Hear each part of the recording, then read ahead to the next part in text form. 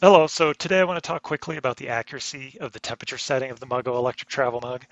I was uh, rather unimpressed with its accuracy, so you might see this as a negative point in a review, but really it's just one of those things that if you know it mismeasures temperature, as long as it's consistent, and it is, it's something you can adjust for. So I look at this kind of the same way as that I consider that you can't shake the Muggo uh, without the battery flying off.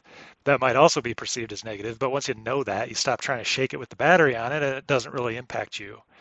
So a few weeks ago, I did a six hour test on the Muggo and a variety of other mugs to see how long they would keep coffee hot. And I'll put a link to that in the description. But as a side effect of that test, I was able to dial in the exact temperature adjustment I needed to make to keep my coffee at the right temperature. Um, and this is the way that test came out. Uh, my goal was to keep the coffee at 135 degrees because that's where I like my coffee.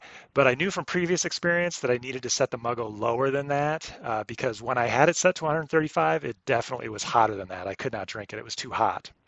So uh, you can see on the dark red line, which is the temperature I had the mug set to, I started out the test with it at 131 degrees.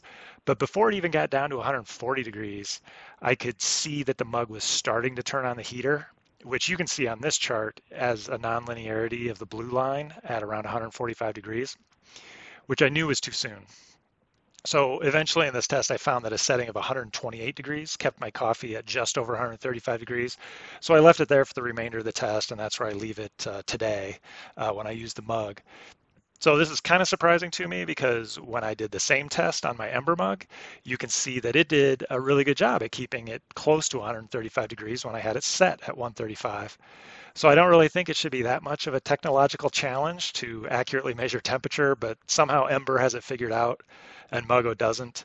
Uh, like I said, it's not a big deal because you can adjust for it, but something to know anyway, and thanks for watching.